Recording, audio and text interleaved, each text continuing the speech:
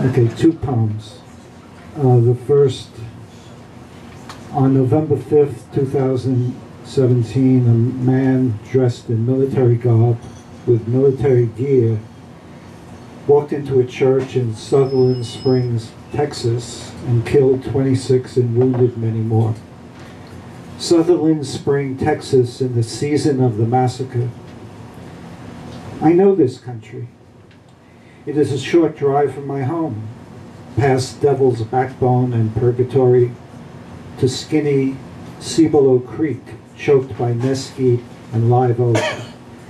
In Sutherland Springs, a family of five trudges in headlights past the police cordon, shuffling, heads down, into the mist.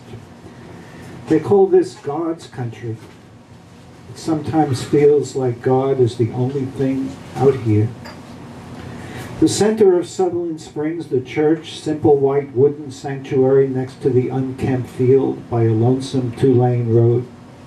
Now they say, tear it down, bulldoze it from the South Texas plain. Now they say, demolish the First Baptist Church, the church that has stood at this lonely crossroad for nearly a century. This doomed site, rooted in black soil, cries out, why? Where is God? What does God want? On this raw, rainy Wednesday night, we hear calls for prayer. Words fail when saints fall. Words and dry leaves drift away into the cold north wind.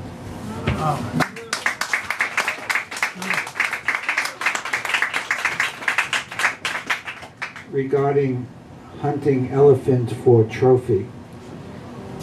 This is a true story. Topsy the elephant.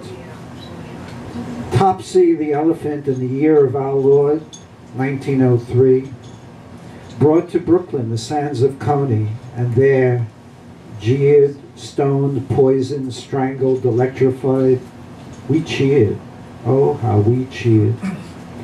As the beast, dazed, stumbled, fell, she was scanned by the camera crew of Edison for eyes to see, for all to see, in the year of our Lord, 1903. Topsy, looking up in wonder at the sky, at the stars of night wandering the sky. Some called it crucifixion, some chose not to see. The crucifixion of Topsy on the strand of Coney.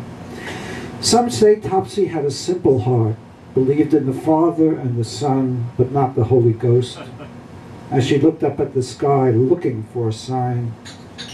Some say if you go to Coney today, flitting in the mist above the pier, you can still see the form of Topsy in line of the horizon between water and the air, searching, still searching for the Holy Ghost beyond the pier.